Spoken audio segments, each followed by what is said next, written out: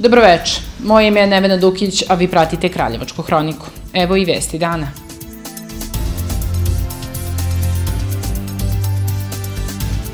Ministar za rad, zapošljavanje, boračka i socijalna pitanja Nikola Selaković obišao Kraljevo. Nakon sastanka sa gradskim čelnicima, obišao udruženje slepih i slabovidih, a zatim podelio paketiće deci i socijalno ugroženih porodica.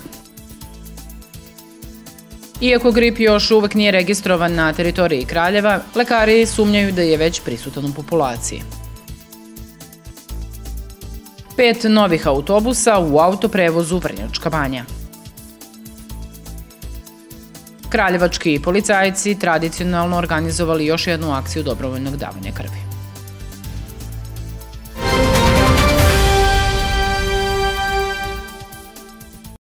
Nikola Selaković, ministar za rad, zapošljavanje, boračka i socijalna pitanja, posetio je danas Kraljevo i razgovarao sa lokalnim čelnicima o najvažnijim pitanjima i zadacima koji su pred njima u tekuće godini. Nakon toga obišao je udruženje slepih i slabovidih, a zatim je deci iz socijalno ugroženih kategorija podelio paketiće.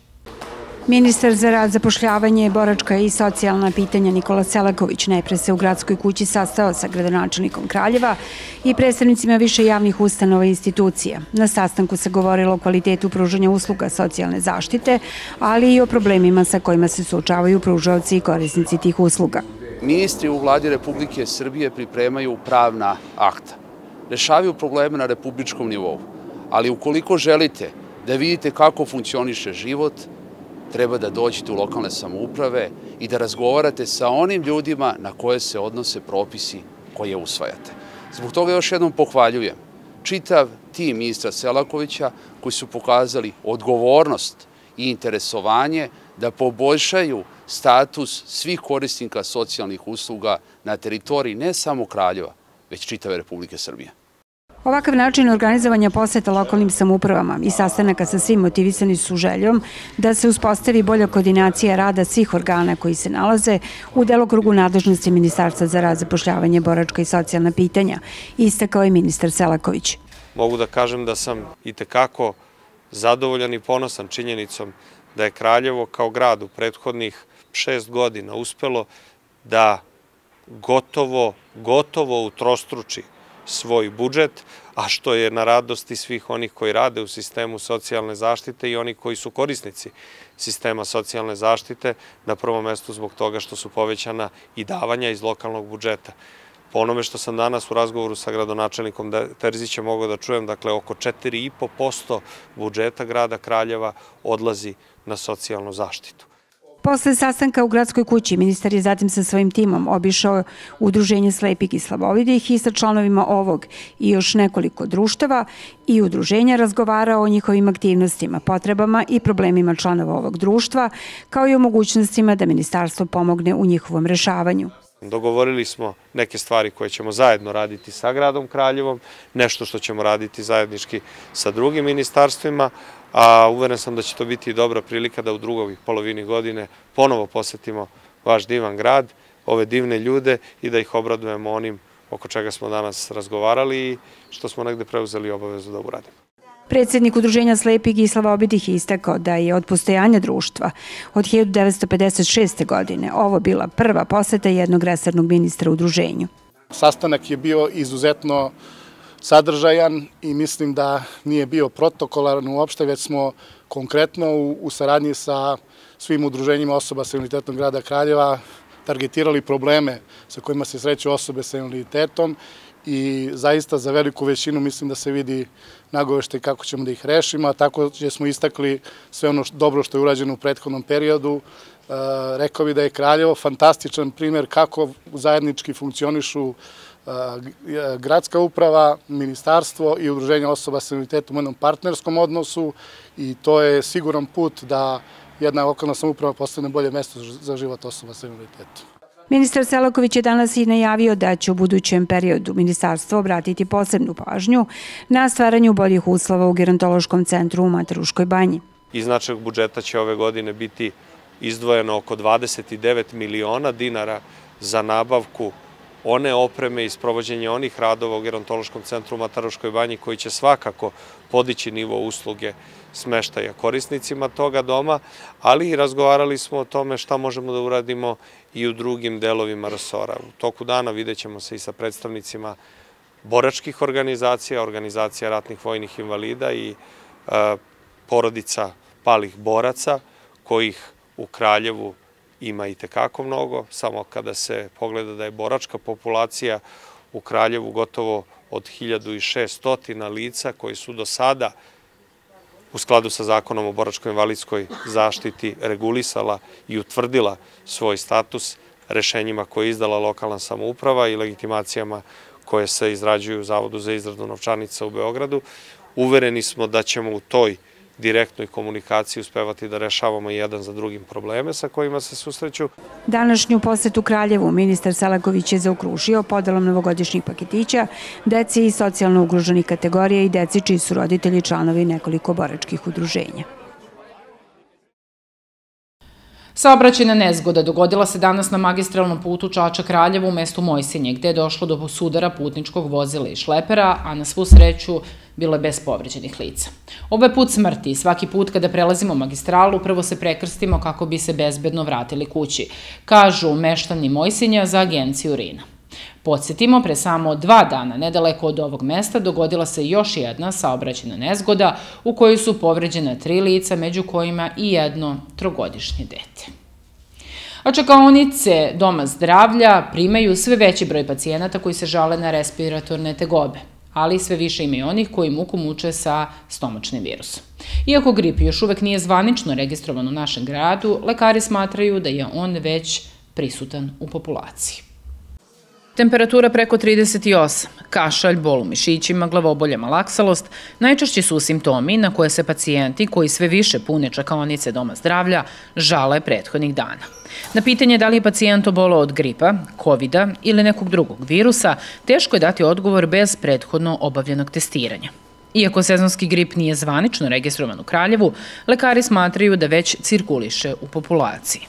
Šta je to što karakteriše ovu pojavu, neobičajenu pojavu, gde još nemamo proglašenu epidemiju gripa, zvanično, ali mi lekari bi rekli da je to zaista i zvanično virus sličan gripu. Tako se i zove, iz razloga što su svi simptomi potpuno isti kao kod gripa. Šta to znači? To znači da je prisutna povećana telesna temperatura, preko 38, preko 39 stepeni, e, suv nadražajni kašalj, izraziti bolovi u krstima, zglobovima ruku, nogu, glavobolja, jedno opšte stanje, e, bolno opšte stanje i opšte stanje malaksalosti. Lekari savjetuju da se prvo sačeka dan dva kod kuće, pa ukoliko se stanje ne promeni i temperatura ne spadne, da se jave u COVID ambulantu, a bez temperature kod svog izabranog lekara. 99% respiratornih infekcija su virusne infekcije, tako da je važno simptomatsko lečenje, a ne odmah na svoju ruku uzeti antibiotike, naglašava doktorka. To svako može da započne kod svoje kuće, a zatim u dogovoru sa lekarom i da nastavi. Šta to znači? Znači, u borbi protiv povećane temperature, glavobolje, bolova u zglobovima, u mišićima, uzima se najčešće nešto od antipiretika, znači tu je paracetamol, tu je brufen, Za kašalj, u zavisnosti od toga da li je produktivan ili suv kašalj, takođe uzimaju se neke tablete, ovaj, prigodni sirupi i to je bukvalno sva terapija koja treba da se uzima 4 do 5 dana, naravno, uz dosta tečnosti, ukoliko je suv kašalj preporučuju se a, mlaki napici, a ukoliko simptomi ne prolaze, u dogovoru ili pri pregledu kod lekara, donosi se odluka o antibioticima. I ponavljam, antibiotik ne može preventivno da deluje. Vakcine protiv sezonskog gripa postoji i ove godine utrošene skoro svih 5,5 hiljada koliko je stiglo u Kraljevo. Ono što lekari savjetuju građanima u ovo zimsko vreme jeste da jačaju imunni sistem kroz veći unos voća i povrća, kao i redovno korišćenje terapije kod hroničnih bolesnika.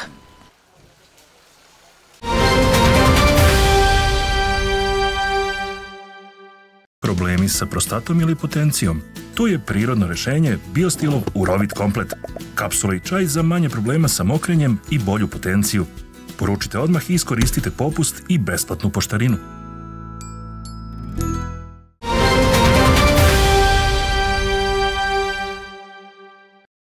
Na dan državnosti 15. februara, kako je najavljeno nakon sastanka predsednika Srbije sa predstavnicima Vojske Srbije, načelnik generalštaba će raspisati konkurs za prijem do 5000 mladih u specijalne jedinice Vojske Srbije. Prijem mladih odnosi se na specijalne jedinice kao što su 72. specijalna brigada, 63. padobranska i Kobre, sa ciljem da se one dodatno ojačaju. Glavni zadatak ove cele 2023. godine biće da se broj pripadnika specijalnih jedinica jedinica Vojske Srbije sa 1600 podigne na 5000, a plate će značajno da porastu u ovom sektoru, izjavio je predsednik Srbije Aleksandar Vučić. A pet novih autobusa, čija je vrednost 570.000 evra, juče su u prvi put vrnjačkim ulicama započeli transfer putnika. Autobusi su u vlasništvu jednog preduzeća Novi autoprevoz, koji u saradnji sa opštinom Vrnjačka banja najavio u budućnosti obnavljanje međugradskih linija. Opština Vrnjačka banja je još 2012. godine, posle nekoliko privatizacija autoprevoza, kupila ovo preduzeće, kao i ceo kompleks okolo površine oko 8 hektara. Naravno, taj proces je tekao sukcesivno od kupovine turičkih e, vozića do sređivanja autobuske stanice gde je lokalna samouprava zajedno sa preduzećem uložila više od pola miliona evra do momenta e, današnjeg pristupa i današnjeg okupljanja, to je kupovina novih e, pet autobusa vrednosti oko 67 miliona dinara sa ciljem da se organizuje lokalni prevoz i da autobusi van lokalnog prevoza budu korišćeni u turičke svrhe, s obzirom se radi o Vrnjačkoj banji na turičkom mestu prve kategorije. Naravno, ovo je tek početak onoga što je krajnji plan i cilja, to je da već u narednom periodu nabavimo autobuse koji će biti korišćeni za međugradske linije, pre svega u domenu linija koje će nama odgovarati u sradnji sa Ministarstvom saobraćaja, ali i u druge turičke svrhe, čime ćemo proširiti delatnost ovog preduzeća i ono što je najbitnije, povećati broj zapošljenika koji rade u ovom preduzeću. Sada trenutno radi oko 60 radnika i ovo je jedno od solventnih, jačih i uspešnih preduzeća, što je dokaz da dobrom odlukom, dobrim zalaganjem i podrškom države koja je neizbežna, kao što je bilo prilikom same kupovine, može da se napravi da ono što je nekada bilo u privatnom sektoru se pokaže kao uspešno i jako profitabilno i u državnom sektoru. Inače, autoprevoz je i tekako stao na noge i danas živi od sobstvenih prihoda, naplate staničnih usluga, turističkih vožnji kroz Vrnjačku banju, naplate parkiranja na teritoriji opštine.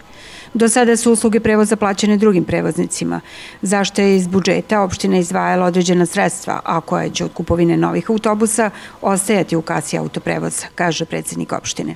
Nadam se da ovim ulaganjem u kupovinu i sada već odobravanjem sredstava koje smo davali ka privatnom sektoru, ka našem sektoru, to je negde oko 2,5 do 3 miliona na mesečnom nivou, ćemo na neki način plaćati svom preduzeću tu uslugu i taj novac ostavljati u kasi lokalne samuprave. Najveći benefit svega toga jeste što ćemo našim građanima pre svega omoćiti kvalitetan prevoz, organizovan prevoz, pokrivenost svih linija, mogućnosti varednih prevoza ukoliko je to potrebno, i ono što je najbitnije, kroz razne dotacije i subvencije moćemo da lakše ostvarimo mogućnost da penzionerima damo besplatan prevoz učesnicima rata sa ovaj, knjižicama da su učestvovali u ratovima i mnogim drugim kategorijama koje smatramo i koje naše odluke podržavaju, a s druge strane povećavamo broj upošljenika sa teritorije naše opštine, što i jeste bio cilj. Mi znajući da je nekadašnji autoprevoz zapošljava i preko 500 ljudi, naravno mi smo daleko od tih ambicija iz razloga što nemamo više linije međuradske koje su nekada postojale, su izgubljene u tim nekim procesima tranzicije iz prethodnih perioda, ali imamo šansu i mogućnost da možemo, kao što smo i ovo uspeli, da polako jedno po jedno vraćamo. Broj autobusa za sada zadovoljava potrebe prevoza na teritoriji opštine Vrnjačka banja, kaže direktor autoprevoza. Što se tiče redova, redova vožnje, oni su trenutno u izradi i ja verujem da ćemo za nekih 5 do 10 dana izaći sa konačnim rešenjima i gde će kompletna pokrednost biti na teritoriji naše opštine. Mi smo već juče krenuli sa prevozom, to je ugovoren prevoz đaka, srednja škola je krenula da radi, tako da od ponedeljka kreće i osnovna škola, tako da faktički mi smo već od ponedeljka počeli sa radom. U planu je kupovina još 20 autobusa kao ovih pet, kao i kupovina autobusa sa 55 sedišta koji će se koristiti za međugradske linije, pre svega u turističke svrhe. Prema rečima predsjednika opštine od 2013. godine pa do sada, ukupno je uloženo u modernizaciju autobuske stanice, infrastrukturu, sredstva za rad oko milion evra.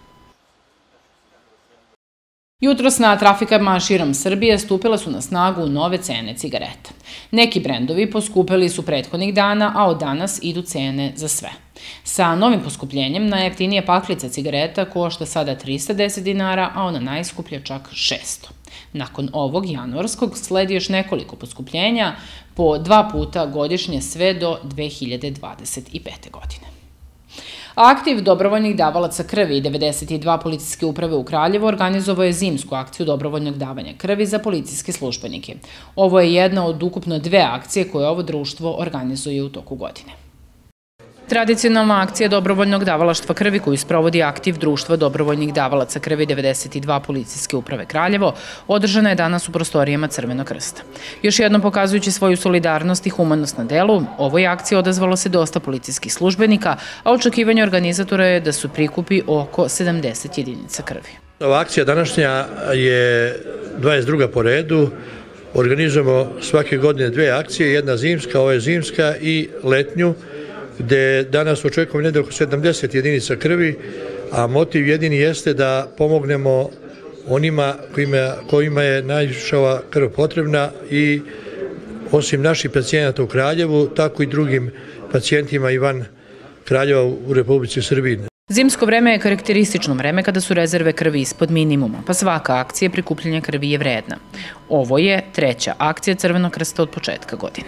Svaki srede akcije su u prostorijama Crvenog krsta od 9 do 2, tako da pozivam sve humane ljude i one koji do sada nikad nisu dali krvi, redovne davaoce, da dođu, da urade nešto lepo, pogotovo u zimskom periodu kada je nestašica krvi, kada e, sezonski e, svake godine pokazalo se fali krvi, tako da je na, sada pravo vreme. Evo i danas je lep dan, ali po lošem vremenu dati krv je zaista divna stvar. Crveni krst prati kampanju za povećanje broja ljudi koji bi ušli u registar davaoca koštane srži, pa se trude da što veći broj davalaca krvi upoznaju sa ovim registrom. Kraljevački policajci su još jednom pokazali humanost i time sve nas podsjetili da malo naše dragocene tečnosti nekome može spasiti život. Srpska pravoslavna crkva i njeni vernici danas slave 18. januar, Krstovdan, kao uspomenu na prve hrišćane koji su primili veru. Po predanju, danas se ukrštaju vetrovi. Praznik se vezuje za bogojavljanje i krštenje Isusa Hrista, kao i za dan posvećen svetom Jovanu Krstitelju, koji je krstio Sina Božijeg u reci Jordanu. Na ovaj dan, posle liturgije, u hramovima se obavlja i čin vodoosvećenja, a sutra na bogojavljenje voda se osvećuje i van hrama, na rekama i drugim otvorenim mestima. Od Božića do bogojavljenja mrsni su svi dani, ali se na Krstovdan, ma koji dan u nedelji bio, ipak posti. Evo i ostali servisnih informacija u Kraljevačkoj hronici.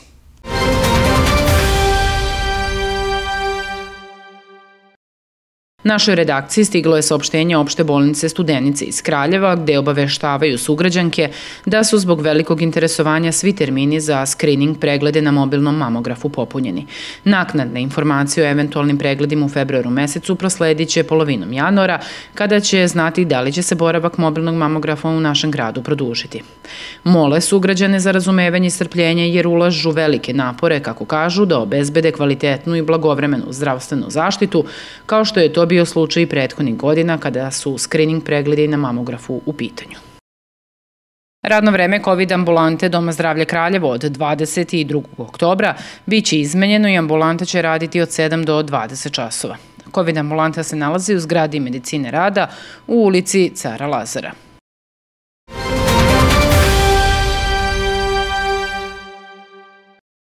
Prema prognozi Hidrometeorološkog zavoda Srbije sutra nas očekuje umereno do potpuno oblačno vreme, mestimično sa kišom na visokim planinama sa snegom. Više padavina očekuje se ujutru i prepodne na jugu i jugozapadu zemlje. Vetar će biti slab i umeren na jugoistoku povremeno i jak južnih pravaca, posle podne u skretanju na slab i umeren severozapadni. Najniža temperatura kretaće se od 4 do 10 stepeni, a maksimalna dnevna dostići će čak i 20 podok. 18. januar, još jednom ukratko.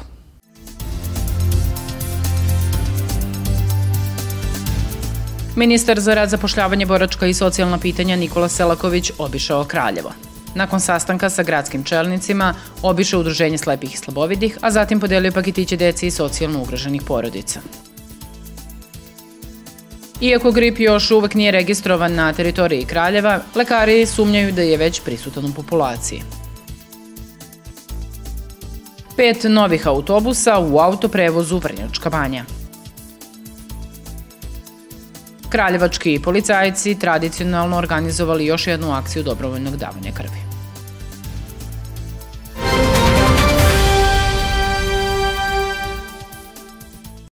Poštovani gledalci, to bi bilo sve što smo vam pripremili u današnjoj Kraljevačkoj hranici. Hvala vam na pažnji i ukazanom poverenju i ostanite dalje uz televizijom Elas. Prijetno večer.